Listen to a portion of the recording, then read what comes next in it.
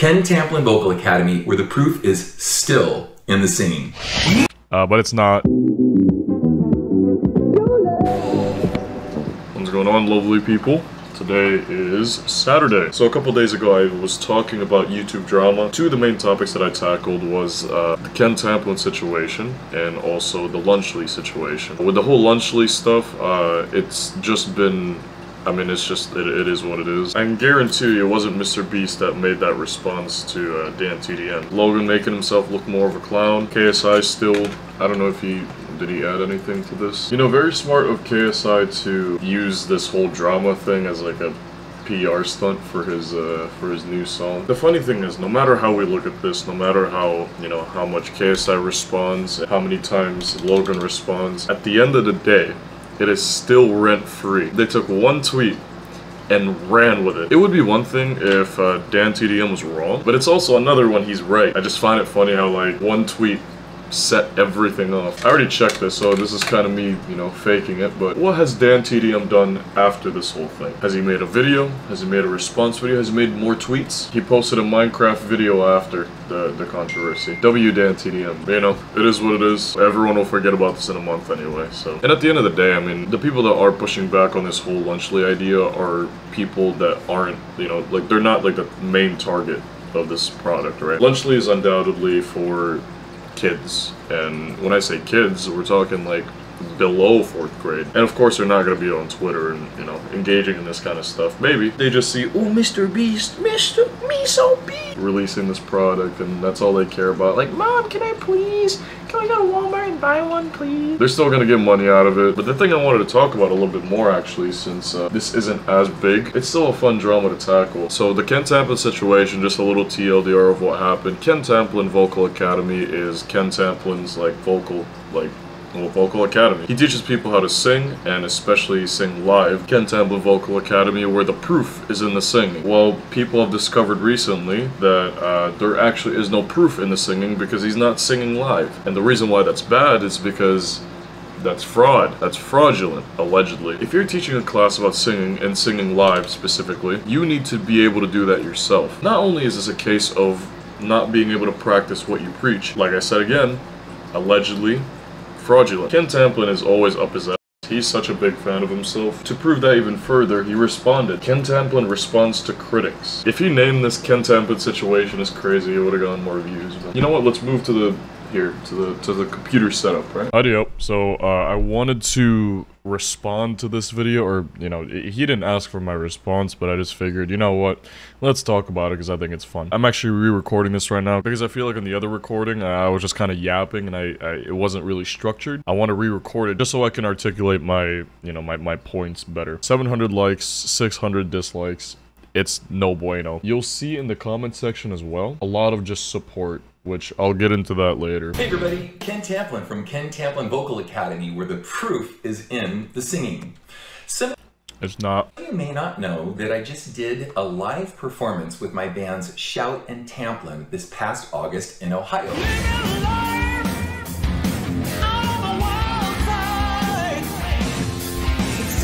And frankly, I think we killed it. Uh, maybe we killed it so good. No, you'll see this a lot throughout this whole video. There's a lot of sucking his own schmeat. That we actually had people coming to me and saying, we think you lip synced the show. We had a gob of KTVA advocates rushing to my rescue to go line by line to prove how different the live performance was from the studio recordings. In fact, one guy actually said that he um, identified over a hundred places in a 70 minute set of how different the live performance was compared to studio performances. Now, Unfortunately, these websites decided to go ahead and delete everybody's comments. I had a video of me and Madison Beer, you know, having a good time together, if you know what I mean. She was great. I love Madison Beer. But unfortunately, the videos got deleted. You guys are just gonna have to take my word for it, but I just let you know, though, it did happen. The over 100 pieces of evidence that he's not lip syncing is uh, listed in the description here, but oh, of course, I ran out of room in the space. YouTube only allows 5,000 characters, and the list was nearly 8,000 characters. This is great and all, but you're only showing half the evidence. This doesn't even count as evidence, because all you really gotta do is look at the video. Just look at the video, and you'll realize he is lip syncing syncing. And the one time that he wasn't lip syncing...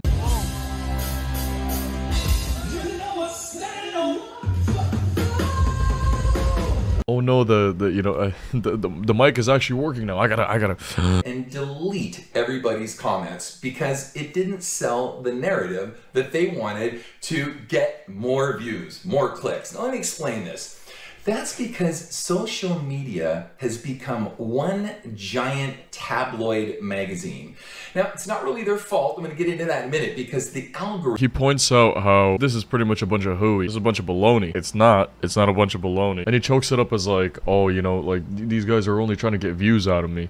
And uh, that's what you'll notice as well. And just seeing by the way he talks about views and stuff, he he lo mm, he loves the views. He loves the views, which I love the views too. But he loves the views. Six million views, five million views. He's like those like Indian channels that like put you know the the the amount of views that they got on the video in the thumbnail. Which what the reason why people are calling you out is because they actually have evidence and they're calling you a fraud for it because you're selling a course that boasts about how to sing well, how to sing high. The proof is in the singing, but you can't even do it yourself. That's exactly why people are calling you out, not because of views. Who cares? We just don't like people that like don't practice what they preach. Rhythms actually play into this. So the more outrageous you can be, the more sensa- sensationalistic you can be. You know, fraud, exposed, it's over. You know, all these different things that they use these tactics. They do it for views. I don't, like I said, I don't really even blame these guys because they're incentivized to do this and the algorithms are incentivized to do this so that they can get more views and make more money. This is not about investigative reporting, okay? Now, getting back. Now he's just being ridiculous. This is not about investigative reporting? Damn. What's this?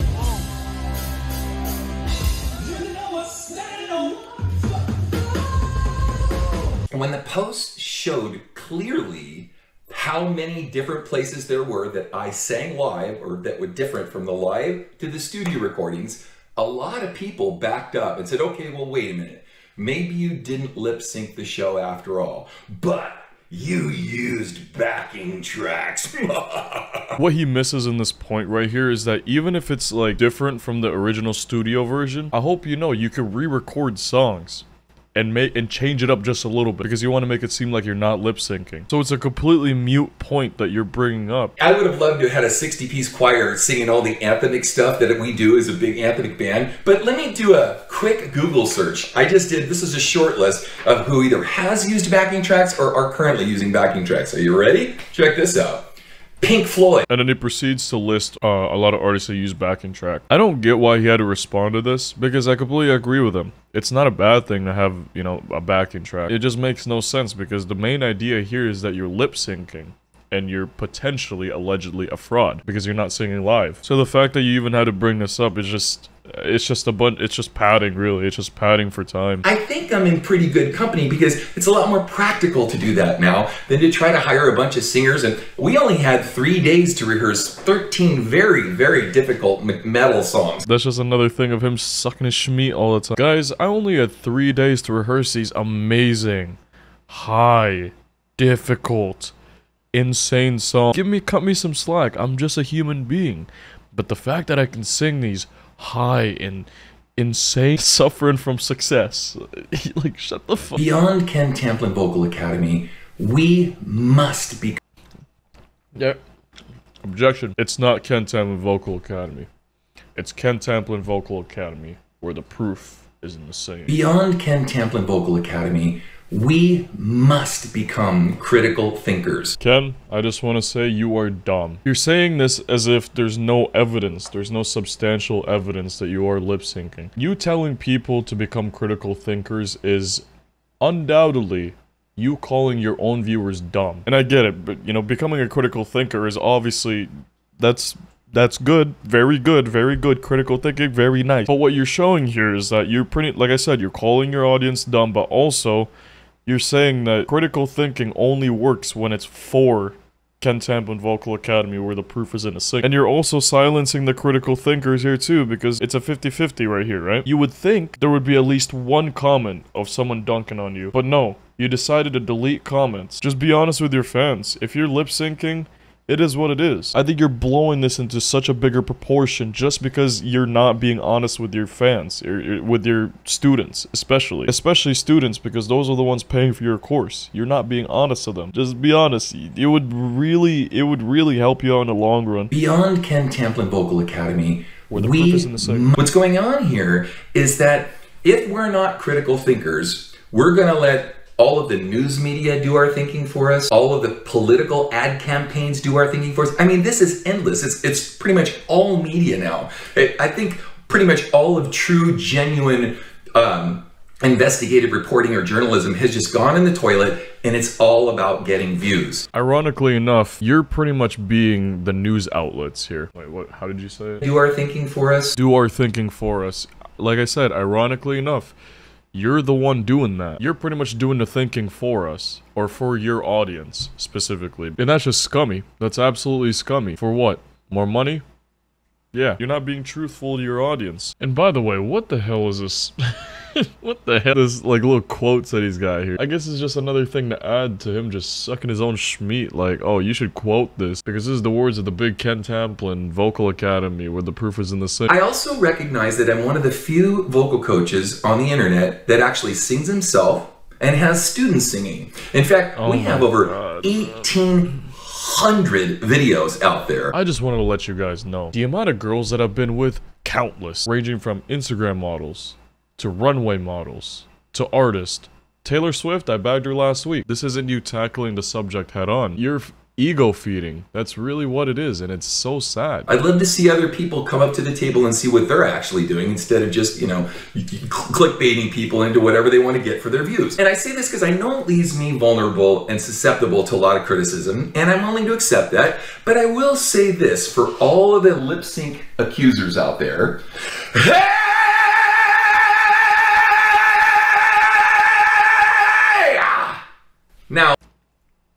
was that? If that's your way to prove that you're not lip syncing, Ken, it's not like I can pull Jiminy Cricket out of my pocket to do that for me. That's really me singing. And mm-hmm. what I'm going to suggest Yes. to you is you need to put on your critical hat, put the two shows side by side, and evaluate it yourself. Don't let someone do your thinking for you. Ken Tamplin Vocal Academy, where the proof is still in the singing. Uh, but it's not. And you know what I do like about this whole thing too is that he doesn't do a a deep response to Wings of Pegasus, especially since this is the one that has the most views when it comes to like calling him out and stuff. 135,000 views. Doesn't address that at all. The only thing that he really did in this video was just jerk himself off and also calling his audience dumb. That that's all it is. Because he's not tackling the thing head on. I don't know why I'm getting so passionate about this, but I'm just it's just like it the delusion, the delusion, the ignorance, the plain ignorance of like the elephant in the room. You're just saying, "Oh, people are calling me out for lip syncing because I sang so good." Not because there's actually insane amount of evidence to support well, to be honest with you, I think it's smart on Ken's end to not address the Wings of Pegasus video like head on, because if he did, he would 100% cornered himself. Ken only focused on one thing, or one video specifically, and that's a live stream that he did a few weeks ago. Where in Phil's video, he addresses the live stream, of course, but he also addresses two other videos. This is a live vocal demonstration of him singing Fortunate Son, and he also addresses this one, the live stream of 2020, which by the way he deleted. Let's do a little bit of a mini research. Two things that are very similar in these two videos right here, the one in 2009 and also the live stream in 2020, is that he makes you think that he's actually singing live by doing this random yeah. He does like a random scream in the beginning of the song just to make you think like, oh, he mu- he must be doing this live, so for the rest of the song he must be doing it live. What? As soon as the song starts, just if you just really listen to it, really listen to it and like kind of look at his lips, he's not singing this live.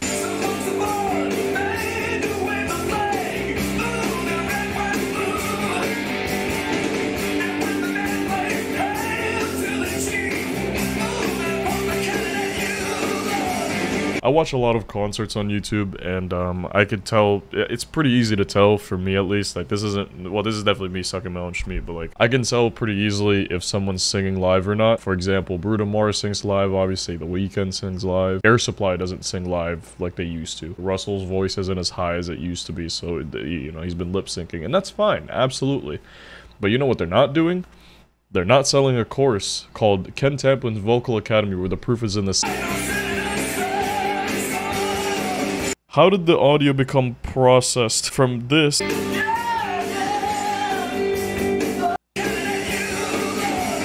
How did the audio become more processed? How did the microphone become better when the song started? Or when the actual vocals started? And last thing I wanted to talk about really quickly here is uh, the comments. If you use the plugin, there's 800 likes, uh, 700 dislikes. You would think that there's comments, at least one comment, of someone hating, I guess. Because that's how he puts it, is hating. Right here, nothing. Nothing. It's just all love. It's all people that fell for the trap of Ken Tamplin Vocal Academy where the proof is in it. Let me guess, none of these critics reached out to get your comment or side of the story, but perceived blood in the water, so they made videos attacking you seeing clicks. We don't need his side of the story. The proof is in the video. There's no need to get- this isn't like a he said, she said. This is just, there's video evidence. This is the one that made me laugh too. If you don't want to read a lot, this comment's pretty much like comparing this like whole Ken Tamplin thing to the P. Diddy thing, which um, quadrillion videos accusing the man without anybody even showing or showing even a tiny bit of evidence. What about that video of P. Diddy beating up that girl? Accusing the man without anybody showing even a tiny bit of evidence. So I guess him being arrested was fraud. For the Ken Tamplin stuff, there's evidence. Why not record a completely unplugged version of Living for My Lord to shut up the critics? They won't stop. Anything Ken will do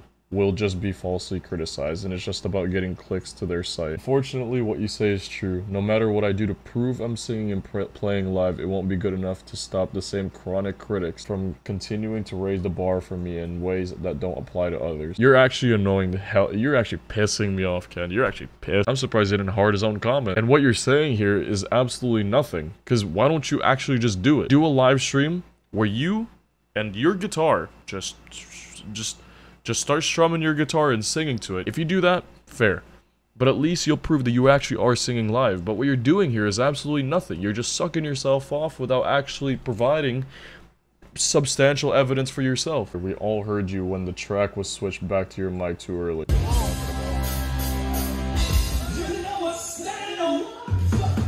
Yeah. I call you mistaken. That is giving you the benefit of the doubt. There's no switching of the mic. You seem to be desperate to want me to not actually have been singing live. Ken, me and you, look at me. It is okay to lip sync. Once in a while, it's no problem. But the problem lies when you decide to lie to your audience that you don't lip sync. When there's evidence that you do lip sync. Because not only are you defending yourself with nothing, but you're also calling your audience dumb and you're calling your students dumb. But anyway, that's it. I've been recording for 40 minutes. I should probably end this now. Jesus. Turn around. No, I got options. Begging me to go, but I tell her to stop it. Always got the key, and my heart is to lock it. Yeah, yeah, yeah, yeah. I like a pro, but you're really a novice.